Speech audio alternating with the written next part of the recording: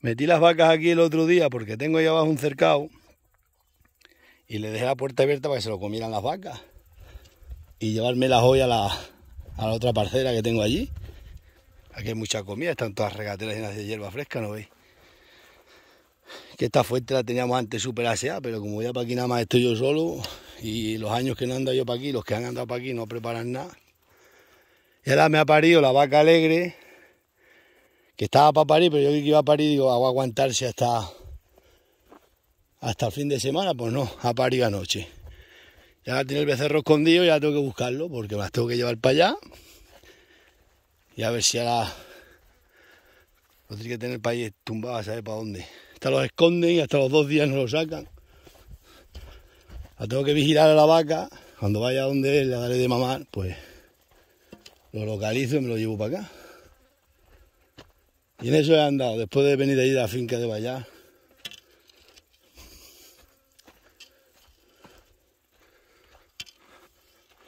También la portera que le venía a traer unas manzanas.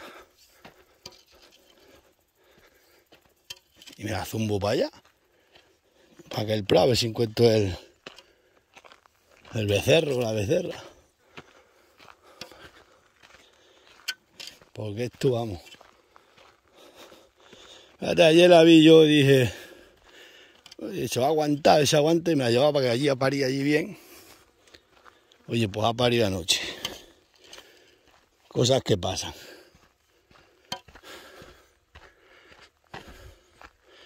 Ahora simplemente hay que observar a la vaca para que ahora lo tiene escondida estaba a saber o haces para aquí bramas un poco y vienen corriendo todas y lo encuentra ella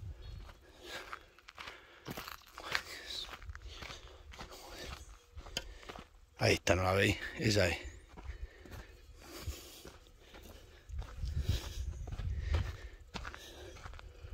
Ha visto a mí venir antes para casa ha venido. Va, ve, y... Aquí, para aquí para una sombra de esta que tener escondido. Pasa que me he estado fijando y no hay, no hay rastros de, de las pisadinas del recién nacido.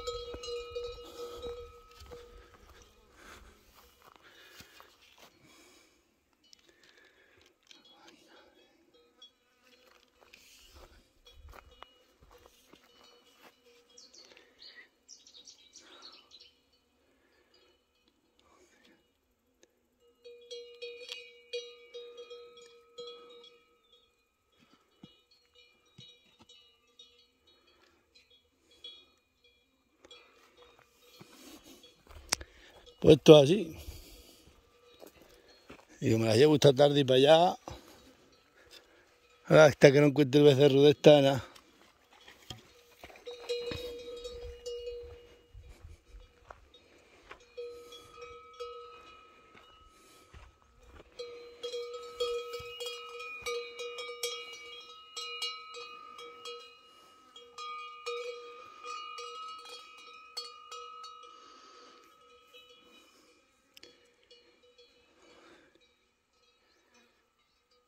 Habrá que, que vigilarla a ver hasta que vaya a darle de mamá. Otra cosa no podemos hacer.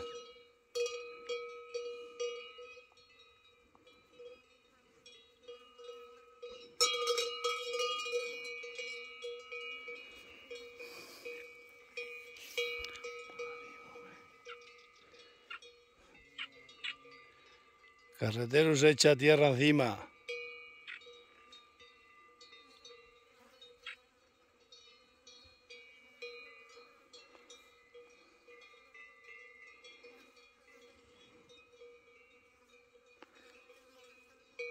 Aquí había otra fuente para beber, que veíamos los pastores aquí. Lo que pasa es que vino un intelectual, hizo aquí una, en vez de, dejar la fuente como estaba y haber hecho la laguna abajo, cogió, metió un cachumaquín y rompió la fuente. ¿Sabéis? Aquí estábamos muchos pastores de verano y un riquino de mi pueblo, un médico le compró ovejas al hijo que no estudió, le compró unas ovejas. aquí nacía la fuente. Tiene una fuente espectacular. aquí. Bueno, para aquí tenemos una fuente, así como unas pilas que había, y por ir para abajo había unas pozas y bebía el ganado. Y nosotros estábamos para aquí siempre los pastores, y ahí debajo del puente nos metíamos a siestear o para allí.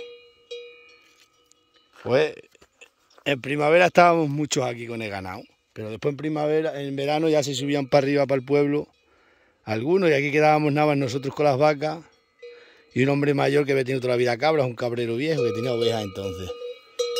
Y ese del médico tenía un perro que no le iba, era, el tío se montaba en los borregos que tenía y se iba a montar hasta el pueblo montado en los borregos.